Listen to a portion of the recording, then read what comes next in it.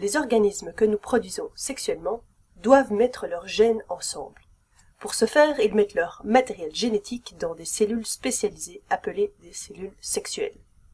Ce que tu vois ici est une cellule appelée le spermatozoïde. Spermatozoïde. La cellule sexuelle des hommes. Le seul objectif du spermatozoïde, son unique raison d'être, est de transférer le matériel génétique de l'homme dans la cellule sexuelle de la femme, appelée l'ovule ou l'ovocyte de son nom scientifique. Donc le spermatozoïde a des caractéristiques qui lui permettent de réaliser ce job. C'est en fait une sorte de petite torpille. Tu peux vraiment l'imaginer comme une petite torpille, avec cette tête pointue, ce qui lui permet d'avancer vers l'avant.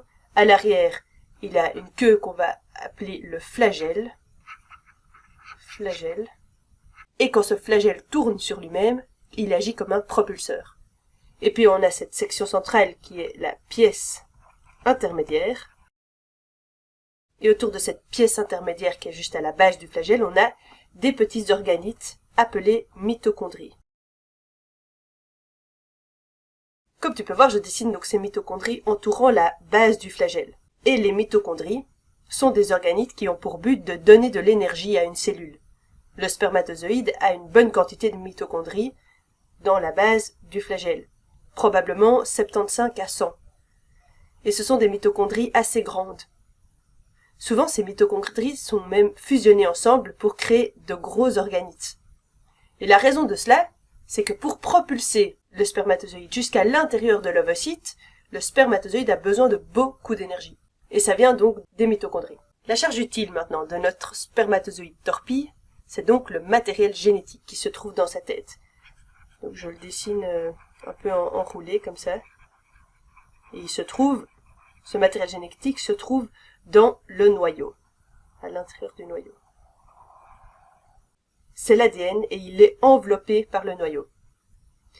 Et tout comme toute autre torpille, les spermatozoïdes ont une ogive, un cône à l'avant.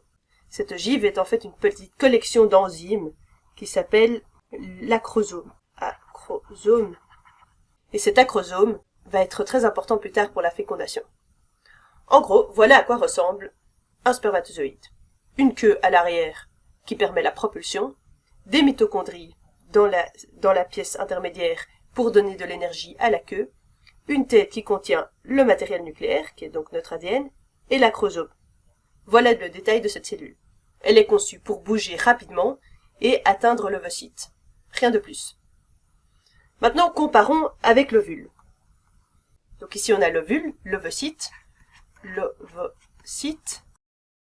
Et la première chose qu'on peut constater, c'est que cet ovocyte est rond, contrairement à la forme de torpille qu'a le spermatozoïde. Ce n'est pas une cellule conçue pour bouger activement, comme le spermatozoïde. La deuxième chose, c'est que cet ovocyte est beaucoup plus grand que le spermatozoïde. Si grand, en fait, qu'il est parfois même possible de le voir à l'œil nu. Donc si on veut comparer avec le spermatozoïde, on va zoomer. On va dessiner maintenant notre petit spermatozoïde. Comme un petit point là. Donc comparé au spermatozoïde, l'ovocyte est environ 10 000 fois plus grand. Et tout comme le spermatozoïde, l'ovocyte a un matériel génétique, que tu peux voir ici prêt à être partagé, prêt à se combiner lors de la fécondation. Il est également dans le noyau. Tu as peut-être remarqué donc ce revêtement ici tout autour, c'est une structure vraiment importante appelée la zone pellucide. Zone pellucide. La zone pellucide est d'une large couche de glycoprotéines qui se trouve à l'extrémité donc de l'ovocyte. Des glycoprotéines.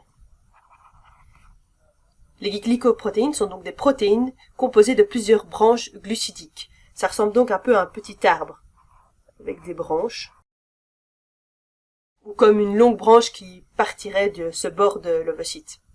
Il y en a beaucoup tout autour, et ainsi ça forme cette couche de protection épaisse que le spermatozoïde doit traverser. Le bord de l'ovocyte s'appelle la membrane plasmique. La membrane plasmique. Membrane plasmique. Une fois que le spermatozoïde dépose son matériel génétique au-delà de cette membrane, la fécondation a lieu. Il y a encore toute une série de structures à l'intérieur du cytoplasme de l'ovule, donc ici autour du noyau. Souviens-toi que l'ovule, l'ovocyte est vachement grand. Je vais dessiner ces structures, et en fait ce sont de nouveau des mitochondries, qui sont ici à l'échelle tout petit. Souviens-toi que le spermatozoïde avait entre 75 et 100 mitochondries à la base du flagelle pour fournir de l'énergie et lui permettre de bouger. Eh bien, l'ovocyte a également des mitochondries et d'autres types d'organites. L'ovocyte étant grand, il a en fait entre 100 000 et 200 000 mitochondries.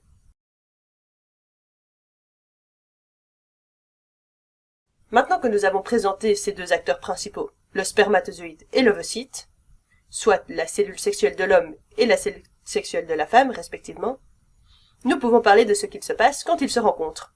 Ce processus est appelé la fécondation. On va donc nommer de nouveau notre cellule. Ici, on a la zone pellucide. Et puis, on va dessiner notre spermatozoïde, avec donc sa tête ici qui va arriver, la base du flagelle et la queue. On peut également dessiner les mitochondries, le matériel génétique, dans le noyau, et l'acrosome là-bas devant.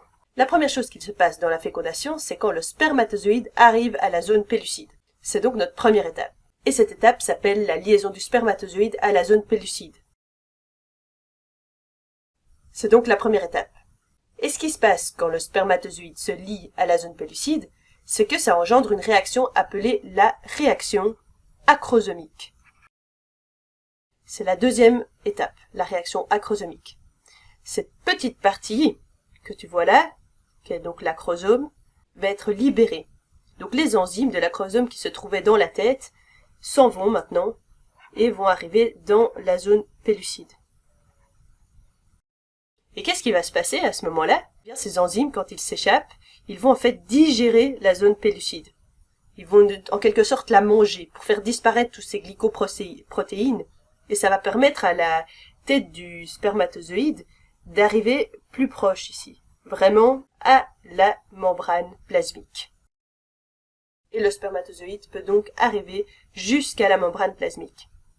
Quand le spermatozoïde arrive à la membrane plasmique et entre en contact avec elle, commence alors le processus de fusion. Et quand ils se touchent, on va avoir une autre réaction qui s'appelle la réaction corticale.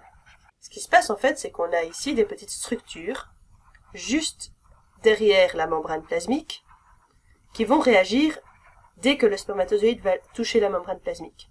Ils sont là à attendre pour réagir. Et au moment où le spermatozoïde va atteindre la membrane plasmique, ces structures vont être éjectées en dehors dans la zone pellucide comme les enzymes de l'acrosome avaient été éjectées. Ces enzymes sont contenues à l'intérieur de granules corticaux, et ils vont modifier la zone pellucide afin d'empêcher l'accès à d'autres spermatozoïdes. Concrètement, ils vont durcir cette zone pellucide pour empêcher cet accès.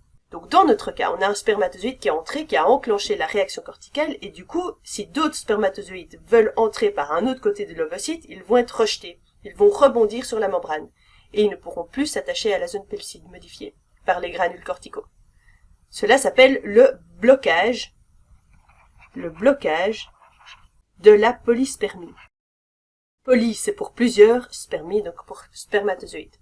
C'est un concept vraiment important. Ce que nous ne voulons pas, c'est que plus d'un spermatozoïde envoie du matériel génétique dans l'ovocyte. Parce qu'on aurait alors une cellule avec une contribution singulière de la maman, mais une à deux ou trois ou même cent contributions du matériel génétique du papa. Et ça ne fonctionnerait pas tu finirais avec plein de sortes de problèmes comme par exemple le zygote qui échouerait lors de la division. Ça peut arriver de temps à autre et ça entraîne que le zygote échoue. Mais dans la plupart des cas, grâce à l'action des granules corticaux sur la zone pellucide, les autres spermatozoïdes ne peuvent pas entrer et ils rebondissent quand ils arrivent au bord de la cellule.